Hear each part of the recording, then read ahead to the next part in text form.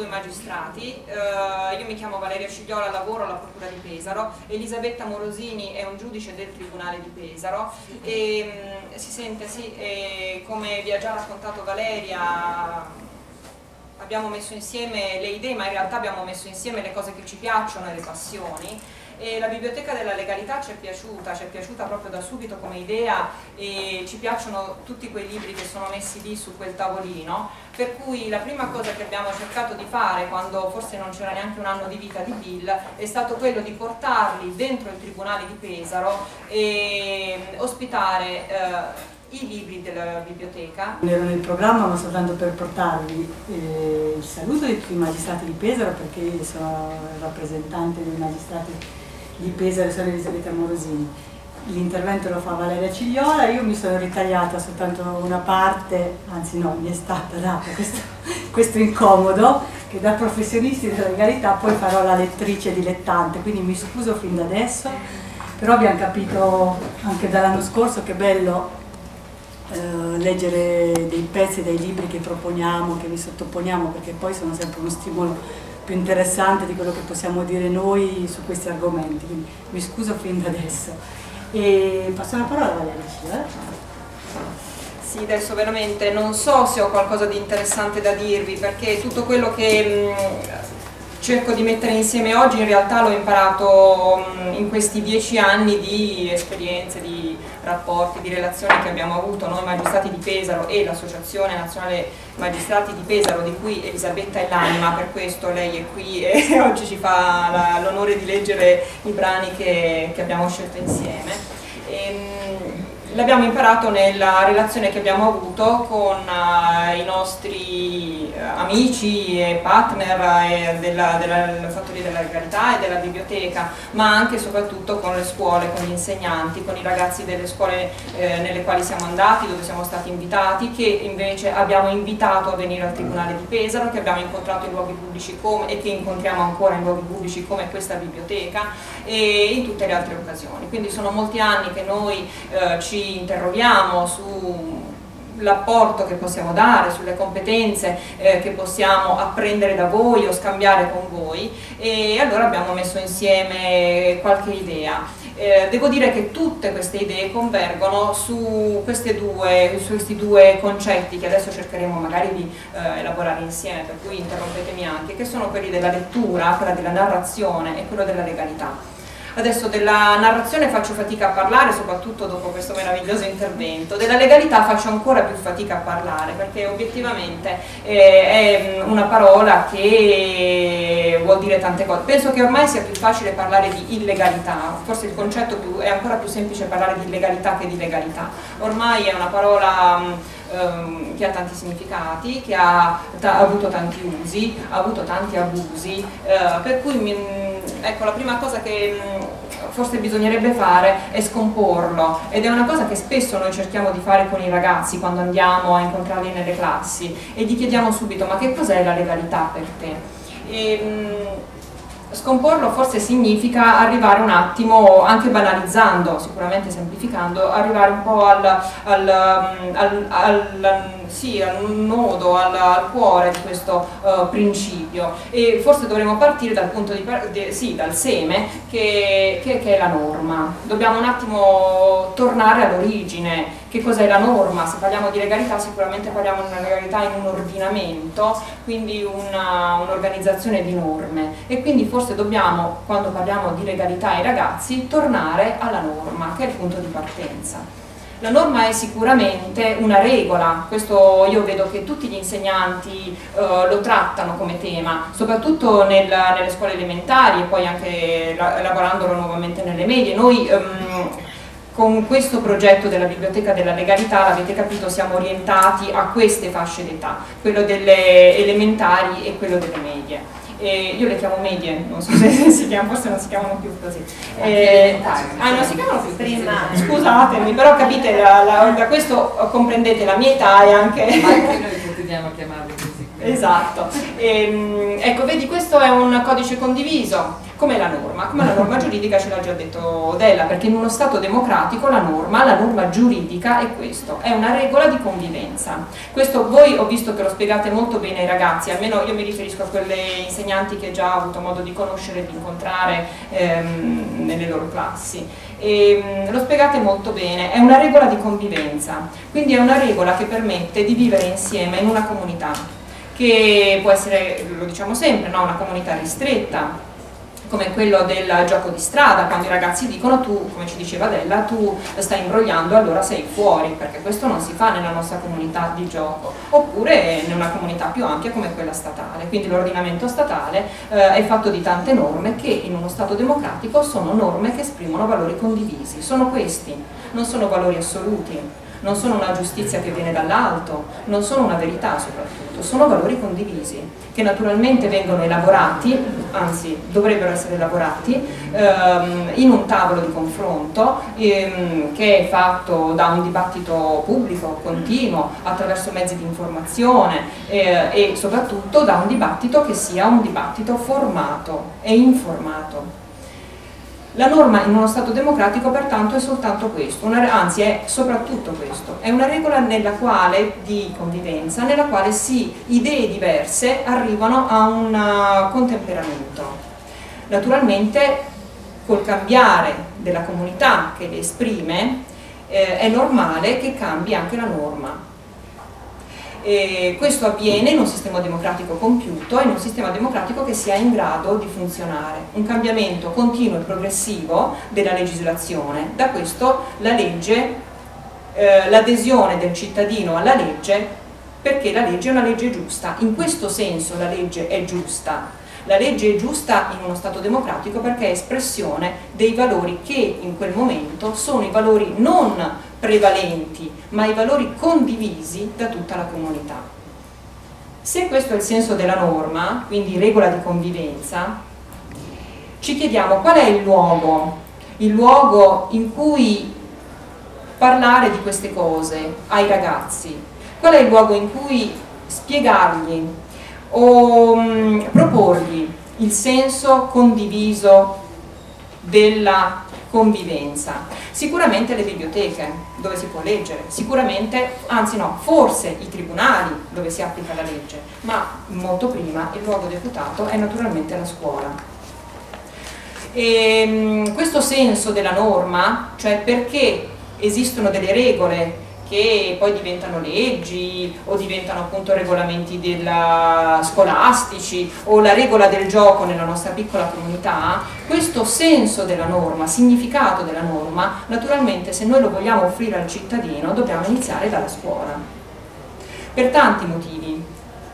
E, ehm, siccome anche qui io non lo so esprimere proprio benissimo, allora usiamo le parole di un altro magistrato che l'aveva capito molto prima di noi, noi l'abbiamo capito con molto ritardo, però a un certo punto i magistrati, questo è uno spirito abbastanza condiviso nella magistratura, si sono accorti che stare eh, nei tribunali a semplicemente applicare la legge, magari applicare delle pene a delle persone, non è che serviva, ma non serviva fino in fondo. Però Paolo Borsellino ce l'aveva detto molto prima e ci aveva detto molto prima che cosa serviva, e io ve lo leggo. Purtroppo i giudici possono agire solo in parte alla lotta alla mafia. Se la mafia è un'istituzione antistato che attira consensi perché è ritenuta più efficiente dello Stato, è compito della scuola rovesciare questo processo perverso formando i giovani alla cultura dello Stato e delle istituzioni. Quindi questo è lo, quello che anima la nostra presenza qui, la partecipazione a Bill, quindi sono le parole di Paolo Borsellino. E questo mm, lo pensiamo profondamente, ma penso che veramente tutte le persone qui presenti oggi lo condividano, eh, cioè se vogliamo mm, uno Stato dove si viva, una comunità dove si viva con rispetto reciproco eh, e che tenda a una felicità eh, individuale ma anche una convivenza mh, mm, pacifica, naturalmente questa cosa noi la dobbiamo mettere in chiaro da subito, eh, cioè da quando siamo piccoli, dobbiamo offrirlo questo concetto, questa possibilità ai nostri giovani. E allora la scuola, la scuola perché voi siete educatori, oltre che insegnanti, no? E la scuola anche per tanti altri motivi, perché la scuola è, soprattutto alle elementari, è il primo luogo di socializzazione. Cioè, ehm, la famiglia, noi diamo molte, cioè, la famiglia è importantissima naturalmente nell'educazione dell'individuo, è fondamentale, però il primo luogo in cui l'individuo esce dalla famiglia è la scuola. Esistono um, tantissimi, numerosi individui che hanno fuori dalla famiglia un'unica occasione di incontrarsi con una mentalità o con regole diverse da quelle della famiglia ed è la scuola. Ed è questa scuola, quella elementare e quella del media, è la scuola dell'obbligo. Voi lo sapete perché voi con queste cose ci lavorate ogni giorno e li incontrate ogni giorno. Però per molte persone solo quella scuola, quella scuola dell'obbligo, sarà l'occasione della loro vita di confrontarsi con qualcosa di diverso. Questo lo comprendete, eh, modi di pensare nuovi, modi di pensare diversi, uno stile di vita alternativo, un punto di vista differente da quello che ti offre la famiglia che può essere bello o brutto, può essere buono, può essere anche migliore di quello dell'insegnante della scuola, perché magari la famiglia è una famiglia bellissima, però può essere anche quello totalizzante, può essere ehm, esclusivo, ossessivo.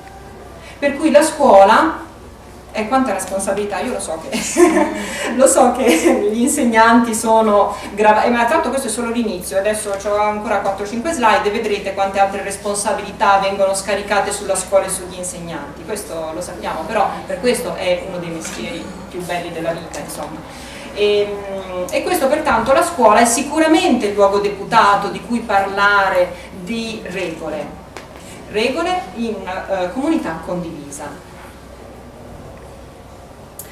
Ecco, come però parlare di regole ai ragazzi, ci chiediamo, ci siamo chiesti, no? soprattutto quando andiamo noi nelle classi, cioè noi siamo sostanzialmente dei parrucconi, siamo dei magistrati, andiamo lì, abbiamo dei ragazzini di 10 anni, di 12 anni, cioè come possiamo parlare a loro delle cose in cui noi crediamo? Ad esempio il senso cioè perché poi rispettare la norma, le regole, perché se invece potrebbe essere tutto più bello e allora ci siamo messi in testa che forse una delle cose più importanti da fare da subito quando sono piccoli è dargli un senso positivo della norma. Allora, sulla regola mm, eh, viene, lo sappiamo tutti, eh, lo sappiamo tutti, viene a quell'età eh, intesa spesso come un limite. E, ehm, forse ha un, un effetto limitante, un effetto finale che deve essere assolutamente eh, limitante, perché in un paese democratico, possiamo anche tornarci più avanti, non esistono libertà assolute, non esistono doveri assoluti perché non esiste un valore, abbiamo detto prima, assoluto in principio, no? non esiste una verità che ti viene eh, diversamente dal, dai totalitarismi di cui parlavamo prima. E, ehm, quindi certo, forse c'è un effetto della norma, della regola che deve essere limitante, però non è un effetto negativo. Noi pensiamo che ai ragazzi bisogna fin da subito spiegargli l'effetto positivo della norma. Um, cosa significa questo? Innanzitutto che quelle regole esistono per loro, per il loro benessere. Quelle regole servono per farli vivere bene, per farli vivere insieme agli altri e farli vivere bene. Questo naturalmente nasce anche da un'esperienza quotidiana che immagino possa essere interna alla classe, ma ad esempio mi viene in mente proprio l'esempio che funziona sempre è quello del semaforo rosso, no? Perché tu ti devi fermare quando il semaforo è rosso? Quella è una regola, il semaforo rosso la macchina si ferma, il motorino si ferma perché? Perché se vai avanti la macchina che viene dall'altro senso ti prenderà e ti farà molto male. Quindi quella regola, che è una regola assoluta, perché il rosso significa tu ti devi fermare, se non ti fermi eh, ti sequestro il motorino e tutto quanto, serve a tutelare te, serve a tutelare la tua salute, è una regola che ti pone un divieto ma che ha un senso positivo. Questa cosa può essere moltiplicata in una serie infinita di esempi che naturalmente potete valutare voi a seconda della situazione che eh, state vivendo, ma in classe penso che ne abbiate esempi continui eh, chiudi la finestra, non ti buttare via, cioè, ehm, veramente esempi continui. Io ci credo molto in questa cosa, eh, facciamogli acquisire un senso positivo, perché la norma, la regola è protettiva, in, appunto sempre in uno Stato democratico, è protettiva, protegge il ragazzo, non solo, ma gli garantisce le sue libertà. La norma è fatta per il cittadino, per garantirgli le sue libertà, anche quando ti limita, è proprio per questo, perché essendo una condivisione deve trovare un limite a una libertà assoluta per permettere la tua libertà. Penso che se si, a, se si riesce ad arrivare um, questo valore positivo, quindi fargli sentire che la norma, la regola è un'occasione che gli viene offerta, allora è mh, facile il passaggio successivo, che secondo me è veramente un passaggio importante. Cioè quello di far sentire il ragazzo un soggetto del diritto, non un oggetto del divieto, non l'oggetto dell'imposizione, io ti dico fermati, ma il soggetto di diritto attento, blocca la tua macchina perché altrimenti ti fai male e tu sei il soggetto di diritto. Fondamentale questo passaggio perché quello ulteriore è lo Stato sono io. Se io mi sento protetto dall'ordinamento e dalla norma, allora io divento il protagonista dell'ordinamento, allora io divento finalmente lo Stato. Acquisisco un'identità che mi permette di sentirmi da un lato protagonista della vita in comune, no? della comunità, e dall'altro il soggetto principe, è il fine della norma. Il mio benessere, la mia vita felice insieme agli altri è il fine dell'ordinamento. Ehm, questo è il passaggio che io ritengo, dopo questi anni appunto di confronto con voi, veramente fondamentale, perché penso che questa sia la base per um, poi um, affrontare la vita dei cittadini, della comunità, innanzitutto con uh, un forte senso di appartenenza e poi con un forte desiderio di orientarla. E quando diciamo cittadini consapevoli, penso che si debba arrivare a questo, al pensiero intimo e eh, assimilato che lo Stato sono io. Cioè io sono cittadino non come protagonista marginale della vita della comunità, ma perché io sono il fine di quell'ordinamento. E da qui poi nasce tutta una serie di, potrebbe nascere, eh, adesso è ovvio che non andiamo, andiamo per ipotesi, insomma, eh, potrebbe nascere tutta una serie di effetti positivi, come quello del rispetto delle istituzioni, quello la desiderio di partecipare alla vita democratica, ehm, interesse ad approfondire eh, le dinamiche della vita democratica, ehm, proprio perché se la norma ha un senso protettivo, se la norma è fatta per me e per permettere a me di realizzare i miei fini, ehm, i miei talenti, allora chi viola la norma è contro di me, è il mio nemico. Questa cosa che io non so se sono riuscita a dirvelo bene, lo dice meravigliosamente la Costituzione, per cui eh, lo dice proprio in, con parole splendide, bellissimo, lo dice veramente molto bene. E, ehm, e il nostro piccolo soggetto di diritto passa infatti a una dinamica che la Costituzione racconta in maniera meravigliosa e che è la successiva dinamica importante per la vita di una cittadinanza è quella tra i diritti e i doveri. Allora, la nostra Costituzione, e per chi ha avuto l'occasione di leggerla e la fortuna di leggerla, perché secondo me è appunto un testo veramente molto bello, è tutta intessuta da questa dinamica, diritti, doveri, diritti, doveri.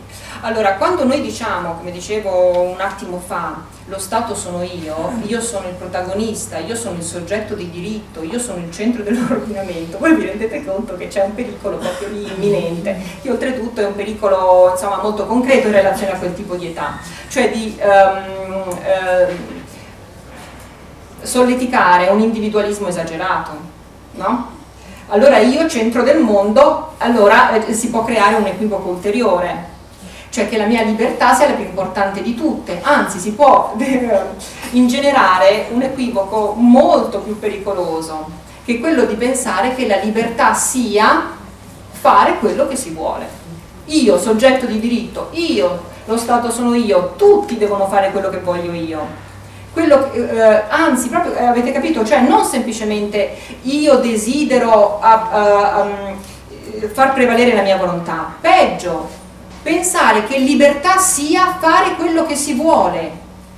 È questo la libertà? Non credo. Eh, libertà è qualcos'altro e ci arriveremo, no? ci arriviamo tra un attimo. Questa dinamica diritti-doveri ce lo spiega in maniera meravigliosa.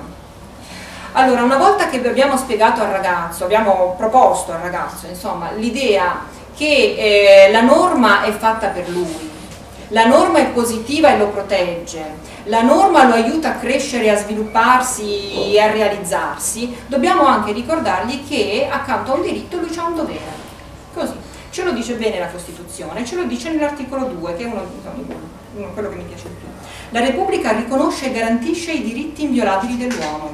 I diritti inviolabili dell'uomo. Tu, soggetto di diritto, inviolabili, inviolabili dice, sia come singolo, sia nelle formazioni sociali dove si svolge la sua personalità, quindi la tua libertà di persona, il tuo talento, la tua intimità, la tua identità, ma anche il tuo essere sociale, eh, il tuo stare insieme agli altri, diritti inviolabili.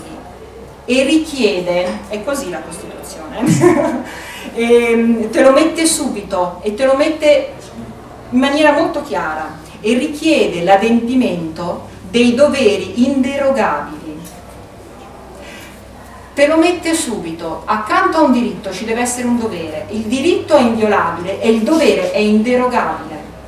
Cioè tu ti puoi inventare tutte le scuse che vuoi, ma tu questo dovere ce l'hai e lo devi rispettare. Che doveri? I doveri inderogabili di solidarietà politica, economica e sociale. Solidarietà. Ma che parola meravigliosa! C'è nella Costituzione, solidarietà allora, la dinamica diritti e doveri è davvero importante. Questa deve, deve cioè, ecco, io penso che sia una delle cose che i ragazzi um, è un martellamento. La Costituzione ci veramente in tutti i suoi principi generali, fondamentali, la mette sempre, eh? però eh, penso che vada coltivata con i ragazzi di quell'età. Diritti e doveri, perché la libertà è questo. La libertà è assunzione di responsabilità non c'è libertà senza responsabilità. E il passaggio ulteriore quindi è che la libertà non è fare quello che voglio, non è fare tutto quello che voglio, la libertà è scegliere. Ce lo dicono tantissimi dei nostri libri della biblioteca, eh, tanti di quelli che oggi ci ha citato Della. La libertà è scelta. La libertà è avere la possibilità di scegliere. L'anno scorso sì, abbiamo letto con Luisa Mattia le, alcuni brani del suo libro La scelta che a noi piace tantissimo, lo regaliamo, lo portiamo ai ragazzi, perché la libertà è quello, avere la possibilità di scegliere, però sapere che ogni scelta ha delle conseguenze e che a ogni scelta consegue una responsabilità.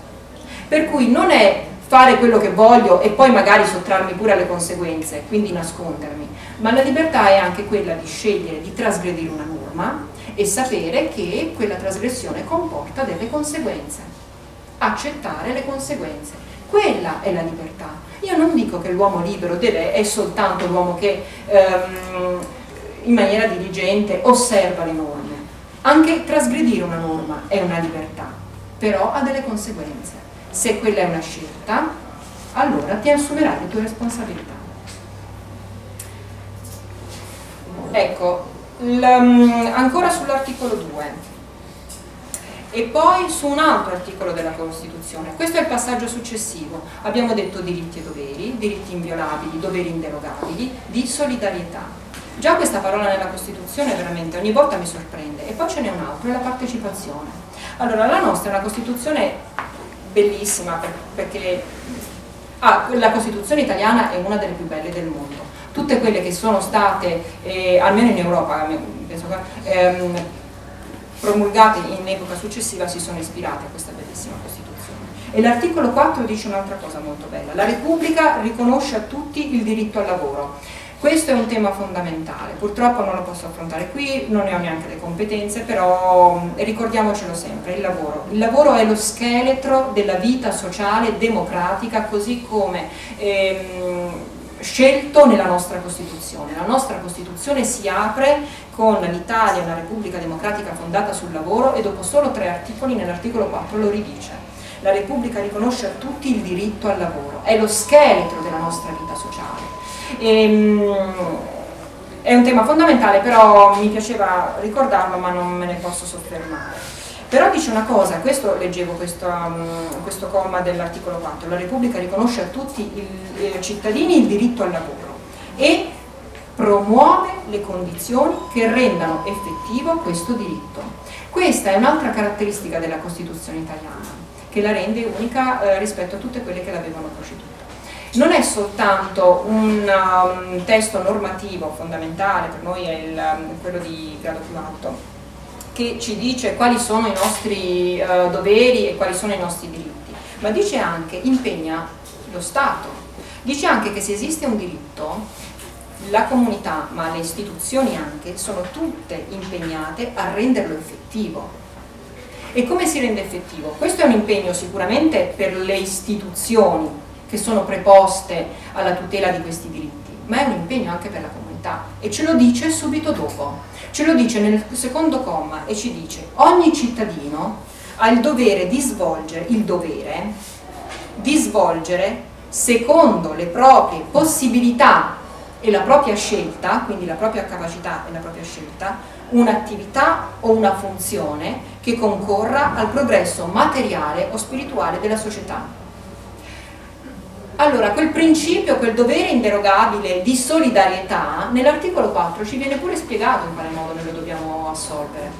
Perché la Costituzione impegna le istituzioni a rimuovere tutto ciò che rende non effettivo, riempiamo, no? riempiamo i diritti e le norme di contenuto, quello che dicevamo prima. Quindi impegna le istituzioni, ma impegna anche noi e ce lo dice. In quale modo? Con la partecipazione con la partecipazione alla vita pubblica, ma anche alla vita privata, alla vita sociale, alla vita della famiglia, con la partecipazione.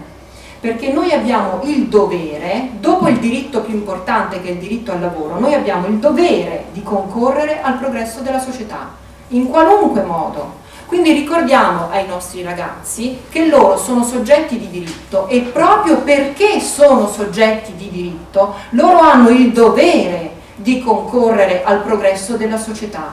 In quale modo lo scelgono loro? E ce lo dice la Costituzione, secondo le proprie possibilità, perché non tutti hanno la possibilità economica, o quella di tempo, o quella di denaro, o quella di talenti, e secondo la propria scelta, quindi nel rispetto della propria personalità, però loro hanno il dovere di partecipare alla vita sociale quindi il ragazzino, adesso non, ma il ragazzino che si, un esempio che vale quello che vale, ma che si isola in fondo alla classe, ricordateglielo, tu sei bravo, stai imparando, però ricordati che sei parte di questa classe.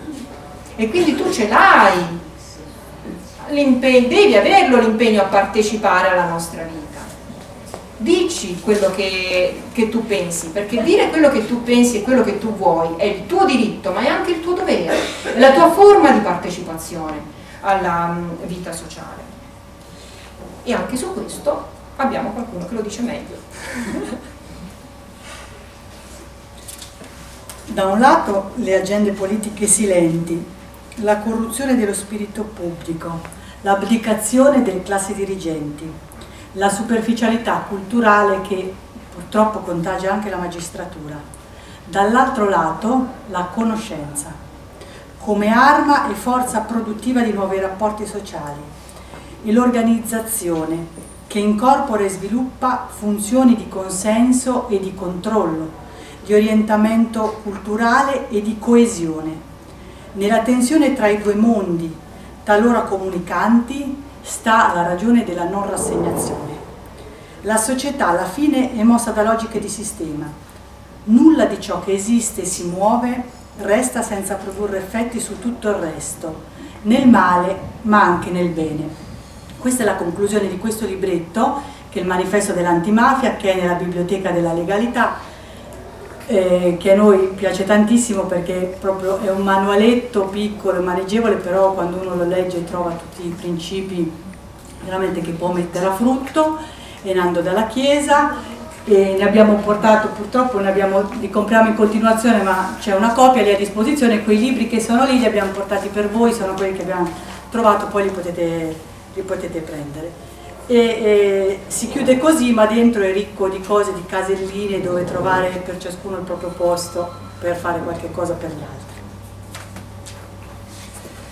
Ecco, questi sono veramente quattro concetti messi in fila, messi in ordine, non so se sono stati chiari, però sono i concetti sui quali noi appunto da anni riflettiamo e che abbiamo proposto anche in alcune situazioni e in alcune esperienze, ad esempio alcune esperienze locali. Adesso io ve ne parlo tre, di tre, ma sono soltanto così piccoli esempi. Um, per riflettere in quale modo questi concetti poi possono essere proposti ai ragazzi. Ad esempio la prima è quello che conosciamo meglio, che è il processo simulato, qualcuno di voi vi ha già mh, partecipato, qualcuno ha già chiesto di parteciparvi e vi spiego subito che cos'è. È un progetto che coltiviamo da anni nel Tribunale di Pesaro tra magistrati, avvocati, eh, cancellieri, forze di polizia. Noi eh, organizziamo un processo, che è un processo penale, che è articolato proprio secondo le norme del codice eh, di procedura penale e applica le norme del codice penale, quindi è un processo secondo le vere regole del nostro ordinamento. E, è una storia vera, è in genere una storia che è vicina ai ragazzi di questa età, in modo che loro possano capirla, comprenderla e sentirsela vicina alla quale chiediamo ai ragazzi di partecipare. Allora i ragazzi, comunque i cittadini che hanno meno di 14 anni non possono entrare nei tribunali e non possono assistere ai veri processi penali se non su autorizzazione del Presidente. Invece noi scegliamo un giorno in cui non ci sono dei veri processi e eh, invitiamo le classi eh, in tribunale e eh, chiamiamo i ragazzi a partecipare recitando la parte non dell'imputato, finora abbiamo sempre evitato di fargli recitare la parte dell'imputato perché in genere eh, questo imputato viene condannato. E allora abbiamo pensato che almeno finché sono giovani adesso ecco. Ehm, però gli chiediamo eh, di eh, recitare la parte, è una recita a soggetto, quindi noi diamo un canovaccio, eh, di recitare la parte della persona offesa, cioè la vittima. In genere sono lesioni personali, una rapina con delle lesioni personali. Quindi la, eh, la parte della vittima, la parte dei suoi amici che diventano testimoni, che lo aiutano a trovare il colpevole e che poi vengono al processo a testimoniare, e anche la parte di un testimone della difesa. Quindi noi replichiamo in tribunale una dinamica processuale reale, esattamente come avviene nei veri processi, con i ragazzi. Allora, perché ehm, questa esperienza ve la porto oggi, ad esempio, certo non per fare, ma perché ci sembra rappresentativa di tante cose.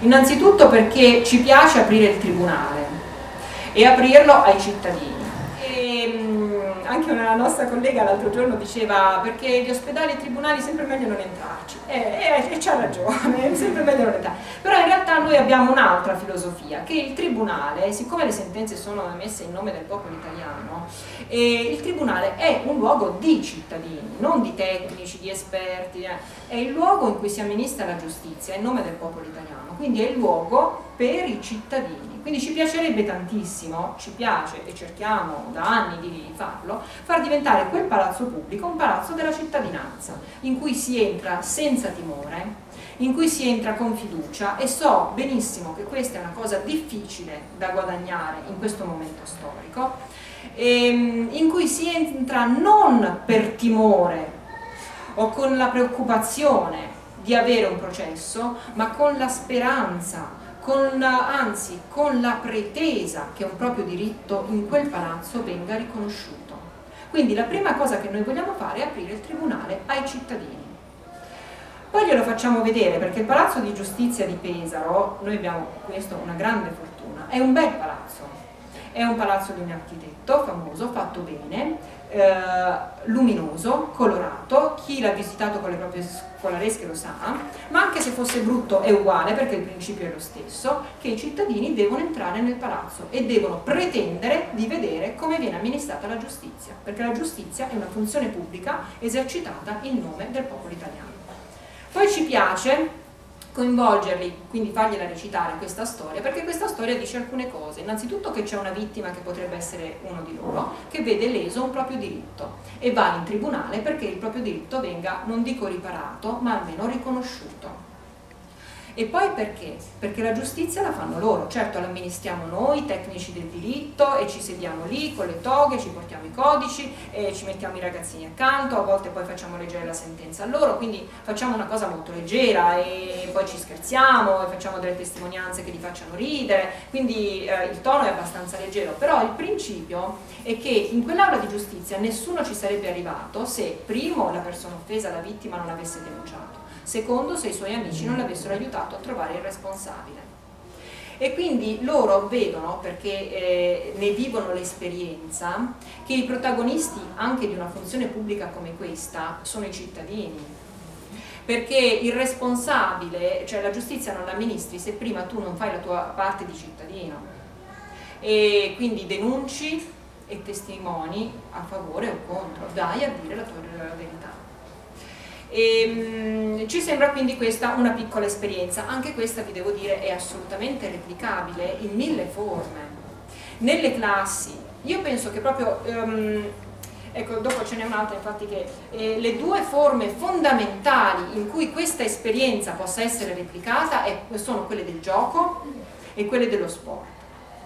Lo sport che non sia naturalmente eh, esclusivamente competitivo, ma che sia uno sport che, finalizzato alla partecipazione. No? Quindi queste esperienze qui di regole che devono essere condivise, di regole che ti proteggono e che mh, tutti devono esercitare con il rispetto anche del, del limite, perché altrimenti gli altri non possono giocare, sono le esperienze della loro età, fondamentali, che naturalmente i bambini hanno fatto da soli per secoli. No? Qual è il problema adesso dei ragazzi di, que di, questa, di, queste, eh, di questa epoca? È che non giocano più per strada no? che non hanno più il cortile, ha, cioè queste esperienze che prima anche noi abbiamo fatto da soli, eh, adesso mm, non lo so, adesso mm, non mi sembra che ci sia più l'occasione di farle, per questo ancora diventa importante una volta ancora la scuola.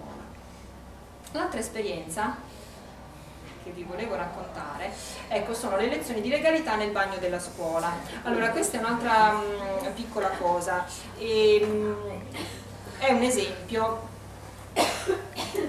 che nasce un po' dai miei ricordi di quando andavo a scuola io, no? e, e, un po' da alcune cose che sono venuta a sapere un po' per lavoro e un po' anche perché sono madre di, una, di alcuni bambini che hanno più o meno questa età e quindi frequentano questo ordine di scuola. Allora, gli stupefacenti nel bagno della scuola, no? Ci sono sempre stati. E, ehm, adesso c'è una cosa che mi allarma da un punto di vista professionale, no? ed è eh, che purtroppo da almeno un decennio, se non di più, l'uso di stupefacenti si sta sempre più abbassando come età e quindi obiettivamente è un problema che inizia dagli 11 anni in su. A me questa cosa mi impressiona molto e mi spaventa perché avrà degli effetti naturalmente sulla società futura e sulla cittadinanza futura. E, ehm, però perché lezioni di legalità? Adesso non voglio parlare dell'uso di stupefacenti perché anche qui non ne ho le competenze, però lezione di legalità. Allora, se ehm, questa cosa ne parlammo anche l'anno scorso, non so se qualcuno era presente, ehm, ricordatevi che eh, se andiamo a dire ai ragazzi lo Stato sono io, quindi diventa tu protagonista, non dovete dimenticarvi che lo Stato siete voi, cioè vale per voi prima che per loro. E, ehm, allora, la situazione di uno spinello um, che circola in classe e ehm, tutti lo vediamo con, um, non con simpatia, però con tolleranza, no? soprattutto se non è appunto un'età così bassa come quella delle scuole medie, magari ai licei la cosa viene tollerata. E mi risulta anche che molte situazioni siano, non dico conosciute, ma immaginate da chi vive in quella scuola e alcune, molte situazioni siano anche tollerate da chi vive in quella scuola. E, ehm, al di là del danno che può fare lo stupefacente, sul quale io non ho competenza e non vi posso raccontare, però vi dico che tollerare uno spaccio di sostanze stupefacenti all'interno della scuola è una cosa gravissima, eh, nell'ottica della formazione di un cittadino. Perché ehm, gli, eh, allora, innanzitutto la cessione di sostanze stupefacenti continua a essere tra i reati più gravi che ci sono nel nostro ordinamento. E soprattutto perché è una cosa che viene fatta in un luogo pubblico, che è un'istituzione appunto preposta alla formazione del cittadino. Ora, se in quel bagno della scuola non ci sono i carabinieri, primo i carabinieri ci possono arrivare se qualcuno li eh, chiama, secondo non c'è bisogno che ci siano i carabinieri, ci siete voi, ci sono i dirigenti, ci sono anche gli altri compagni, essere cittadini, protagonisti della vita sociale, significa questo, significa avere delle norme che vanno rispettate per sé, cioè io decido di rispettarle, ma significa anche pretendere che gli altri le rispettino. Quindi io molte volte mi è stato detto ma noi non volevamo rovinare i ragazzi e io uh, guardate lo comprendo molto bene questo ragionamento e penso che forse abbia le sue giustificazioni e sia fortemente motivato però nell'ottica della formazione di un cittadino va bene, può, potrebbe anche andare bene non chiamare i carabinieri, ma non va bene tollerare che quella cosa avvenga sotto i vostri occhi. Quello non può assolutamente essere tollerato, perché è una violazione molto forte, oltretutto in un senso negativo della norma, perché è una cosa che fa male ai ragazzi e che se viene tollerata lì, loro che cosa assimileranno? Che la norma in realtà si può violare e che me lo fanno fare le persone che in quel momento rappresentano lo Stato, quindi siete voi. Adesso io faccio sempre questo esempio dello stupefacente perché è più facile da comprendere, però anche questo, lo vedete, può essere replicato in migliaia di modi. Nella vita della vostra comunità, quella che organizzate voi, questa è una cosa importante e non è la tolleranza o l'intolleranza, è la coerenza, è l'identità, perché questi sono principi che naturalmente non possono essere raccontati o spiegati, cioè se andiamo dai ragazzi e gli raccontiamo così come sto dicendo a voi, ovviamente, no, diciamo sempre, dopo dieci minuti si scollegano, ma anche prima, adesso io ritengo dopo sette minuti e mezzo si scollegano, cioè non glielo possiamo dire in questo modo, glielo dobbiamo fare vivere come esperienza o come emozione, per questo i libri, e adesso ci arriviamo.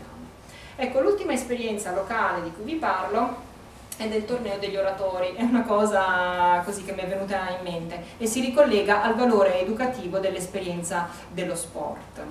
E, ehm, è una storia locale, c'è un oratorio porracchiale ed è qui a Fano, ma è come sono sempre stati gli oratori e come ce ne sono tanti in giro per il mondo, no? e ha un bel parco e ha un bellissimo campo da calcio, recintato, bellissimo. Questo oratorio apre qualche tempo fa e mm, naturalmente l'accesso è un po' selezionato, devi avere la tesserina dell'oratorio, non paghi niente, però eh, hai, devi avere la tesserina dell'oratorio.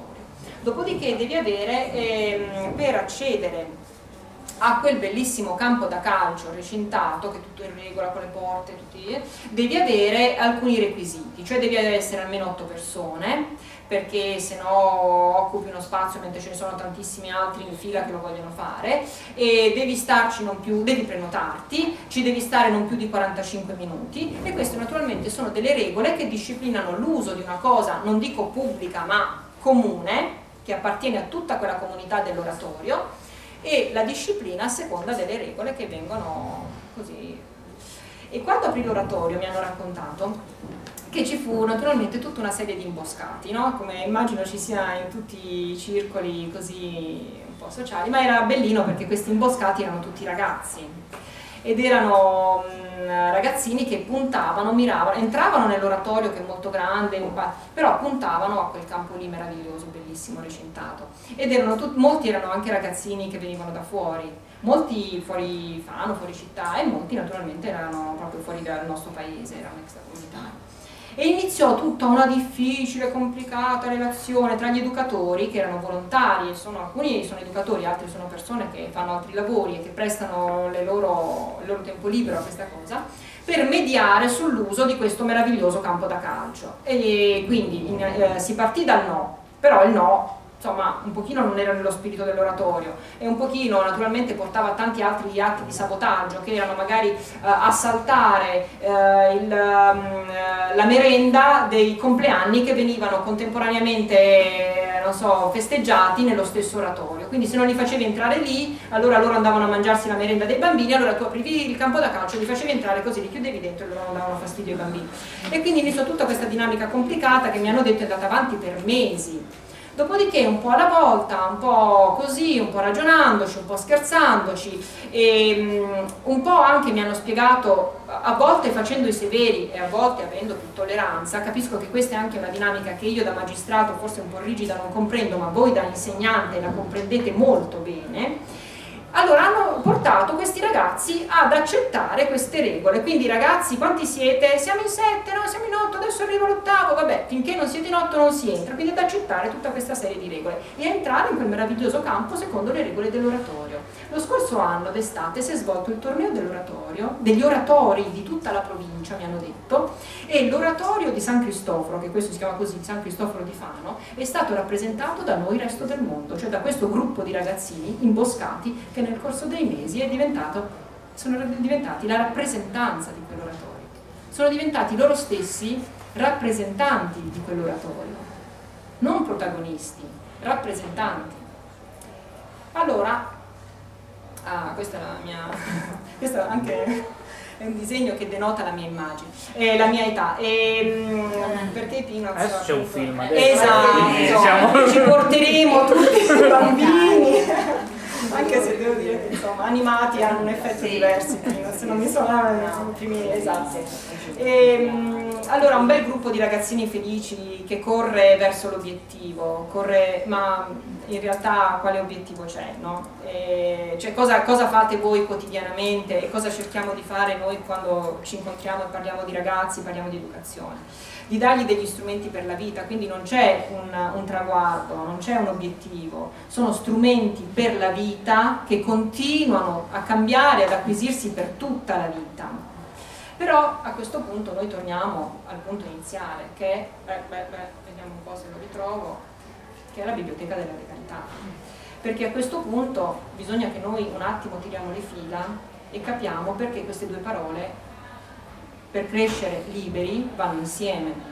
Perché la, cosa c'entra, in quale modo la legalità può centrare con una biblioteca e con la, con la narrazione.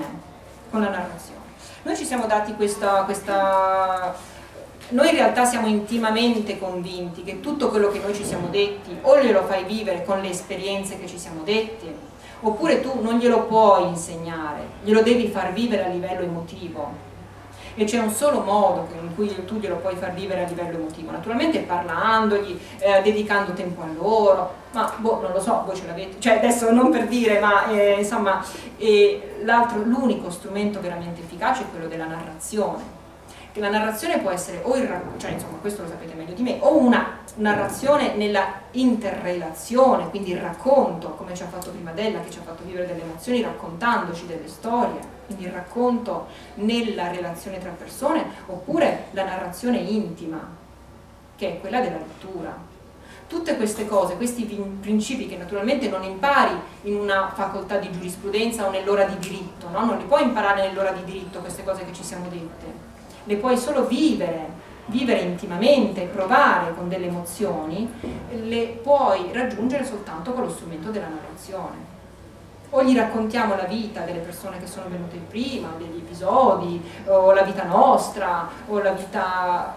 oppure glieli facciamo vivere nel rapporto intimo con il libro, con la narrazione che c'è nel libro, che li, che li raggiunga a livello emotivo e che gliele lasci questa traccia, che loro sono importanti, che la norma esiste per proteggere te, che tu sei importante nel tuo diritto, nella tua libertà, ma nella relazione con l'altro, che tu verso l'altro hai il dovere di tutelarlo e di impegnarti. Queste cose noi gliele possiamo trasmettere, io penso, non lo so, la mia esperienza è questa che nei tribunali vabbè puoi fare tutto un lavoro importante forse e nelle biblioteche molto di più, nelle scuole ancora ma attraverso questo strumento che è quello della narrazione.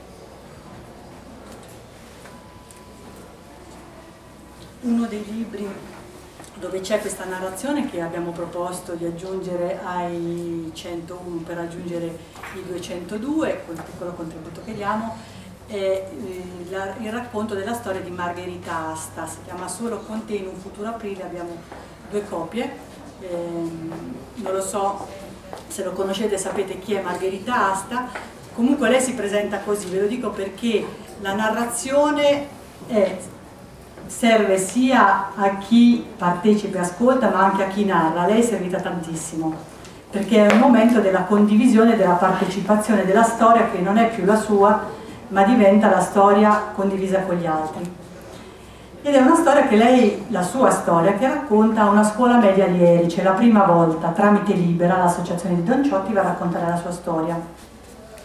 E dice, sono emozionata, non sapevo cosa dire, comunque parto così. Mi chiamo Margherita Asta, avevo dieci anni quando la mafia ha disintegrato mia madre e i miei due fratelli.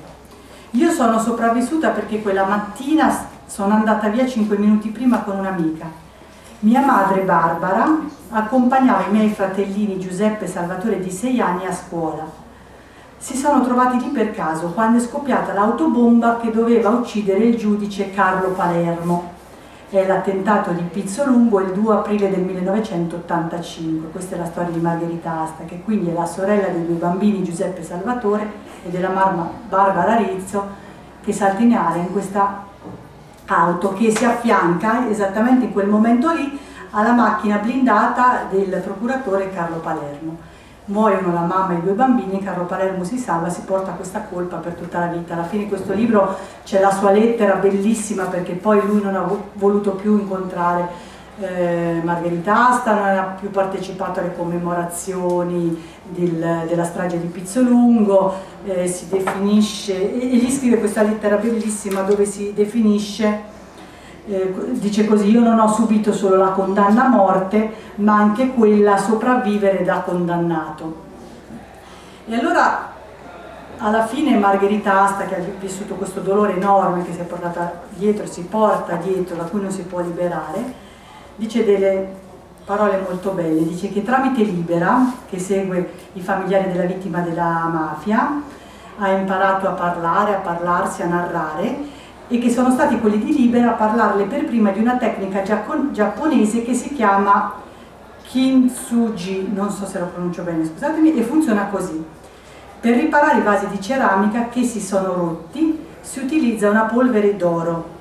Non si cerca di far sparire i segni della lacerazione, ma anzi si accentuano, vengono resi ancora più visibili. Li si valorizza con un materiale prezioso si ottiene in questo modo un oggetto di grande valore, un intreccio irripetibile di linee dorate, uniche, che racconta come quell'oggetto si è frantumato. Questa pratica nasce dall'idea che dopo una rottura, rimettendo insieme tutti i pezzi, possa nascere una nuova forma ancora più bella. Io credo, mamma, che per ricomporre i frammenti di ciò che restava dopo quella mattina del 2 aprile sia stata usata la colla più preziosa, l'amore di tutte le persone che mi hanno presa per mano in questi anni e che hanno fatto un pezzo di strada con me, con noi. Questa rimane di tasta e ci sono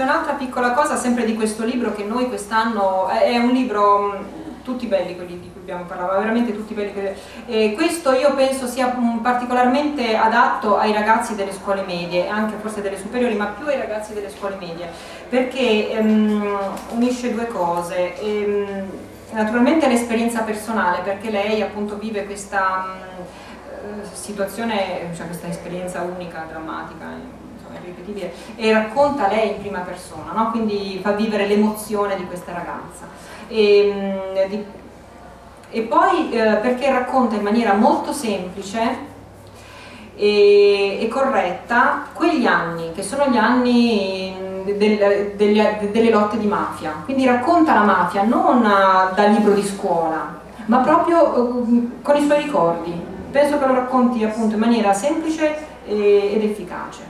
E poi un, piccolo omaggio, eh, tra le cose che eh, sono nate da quella tragedia, dai semi, soprattutto dall'incontro che poi Margherita ha con Libera, è il fatto che a Castellammare del Golfo viene dedicata una biblioteca multimediale, questo lo leggo perché è un piccolo omaggio alla Fattoria della Legalità e alla bellissima biblioteca che ci ospita, che appunto a Castellammare del Golfo è stata dedicata alle vittime di questa strage una biblioteca multimediale ehm, voluta in un uh, posto che prima è brutto, poi viene confiscato alle mafie e diventa bello, perché tutti gli impiegati del comune ci mettono la passione e nelle ore, eh, anche oltre l'orario di ufficio, l'hanno trasformata con le stanze eh, dipingendo l'arcobaleno, esattamente come penso sia lo spirito della fattoria della legalità. Poi l'hanno rimessa a posto e quella biblioteca è diventata un luogo colorato e gioioso del sapere. E, ehm, quindi questo è uno dei libri che mm, appunto ci piace regalare quest'anno quando andiamo, con questo bellissimo titolo che in sé è una citazione di una splendida poesia di Pasolini. E poi ce n'è un altro che per noi è, molto, è bellissimo, è molto importante e, mm, e ve lo racconta Elisabetta. Sì, è nome, nome di battaglia provvisorio perché è un racconto, sono tanti racconti in realtà, tanti racconti visti da punti di vista differenti, eh, sono dei racconti di narratori, sono dei racconti di illustratori, sulla resistenza, sul tema della resistenza. Nome di battaglia è, il libro che Silvana Sola sostanzialmente dice che deve da sempre a suo padre e glielo doveva, e, è un libro così molto bello, molto prezioso, anche di questo abbiamo due copie in omaggio e Silvana Sola sarà domani qui con voi eh, però sarà qui anche il 26 di novembre, apre la rassegna con le parole giuste e presenta questo libro, lo facciamo in collaborazione con l'AMPI che sempre eh, ci è stata vicino nella mm, presentazione con le parole giuste, c'è sempre un libro dedicato alla resistenza, quest'anno eh, e questo siamo molto contenti perché ci sono tutta una serie di storie bellissime, sia raccontate che disegnate. E a proposito della resistenza, così per meditare sulla resistenza e pensare a un significato che questa possa avere per la nostra cultura. Eh, abbiamo pensato a una lettura dallo Stato siamo noi Piero Calamandrei, Chiare lettere, che dice questo, fa questa riflessione. Se nel campo morale la resistenza significò rivendicazione di uguale dignità per tutti gli uomini e di rifiuto di tutte le tirannie che trasformano l'uomo in cosa, nel campo politico la resistenza significò la volontà di creare una società retta sulla volontaria collaborazione degli uomini liberi uguali, sul senso di autoresponsabilità e autodisciplina, che necessariamente si stabilisce quando tutti gli uomini si sentono ugualmente artefici e partecipi del destino comune e non divisi fra padroni e servi, tutto quello che ci siamo detti oggi. La maledizione che ha gravato nei secoli sul popolo italiano è, sta, è stata proprio questa separazione, questa scissione tra il popolo e lo Stato, per cui il popolo ha sentito lo Stato come un'oppressione estranea, come una tirannia, come un nemico che stava sopra e fuori di lui. E da questa scissione, difficile scissione, sono nati tutti gli scetticismi e tutti i conformismi che costituiscono il pesante bagaglio della nostra storia politica. Da questo è originato anche quel disprezzo della politica, dei politicanti, che, che, è largamente diffuso nel nostro popolo, che si è aggravato durante il fascismo e che anche oggi scredita nella considerazione di tanta brava gente, le persone che si occupano di politica militante, che identifica la politica con la transazione e con l'imbroglio. Ma la resistenza ebbe anche questo significato. Fu tutto un popolo che rivendicò a se stesso il dovere e la responsabilità di fare la sua politica, comprendendo che solo con la partecipazione solidale e collettiva alla vita politica un popolo può essere padrone di sé. Grazie.